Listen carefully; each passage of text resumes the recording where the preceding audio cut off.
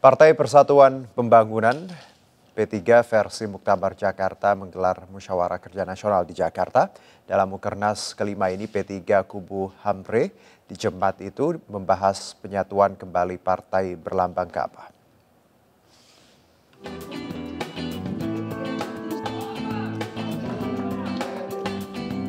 Ketua Umum P3 versi Muktamar Jakarta Humphrey Jemat menggelar musyawarah kerja nasional kelima di Hotel Red Top Pecenongan Jakarta Pusat. Humphrey mengatakan Mukernas kali ini merupakan strategis dan bersejarah karena untuk pertama kalinya membahas penyatuan kembali partai berlambang Kabah. Menurutnya rencana islah ini juga telah disepakati oleh PLT Ketua P3 Kubu Pondok Gede Suharso Monoarfa Humphrey menyebut Islam merupakan syarat mutlak untuk mengembalikan P3 menjadi partai yang besar dan kuat. Humphrey mengatakan setelah kembali bersatu, P3 harus berubah menjadi partai yang bersih dan menolak adanya praktek politik transaksional.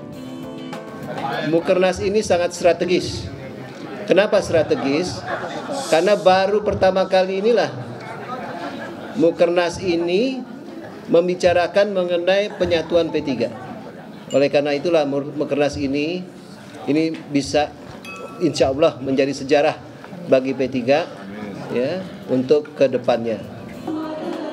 Humphrey menegaskan dalam waktu dekat P3 akan segera menggelar muktamar bersama guna memilih pemimpin yang baru.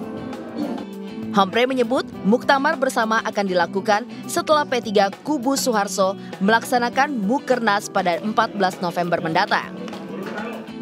Dari Jakarta, Vicky Rian, Abdul Aziz, Jaka Samsa, iNews melaporkan.